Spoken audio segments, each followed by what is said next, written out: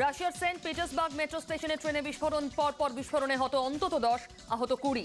দুমড়ে মুচড়ে গিয়েছে ট্রেনের কামরা। সন্ত্রাসবাদী হামলার আশঙ্কা উড়িয়ে দেওয়া হচ্ছে না, বললেন প্রেসিডেন্ট পুটিন উৎকর্ষের বিচারে দেশের মধ্যে পাঁচ নম্বরে জায়গা পেল যাদবপুর বিশ্ববিদ্যালয়। রিপোর্ট প্রকাশ মানব সম্পদ উন্নয়ন মন্ত্রকের।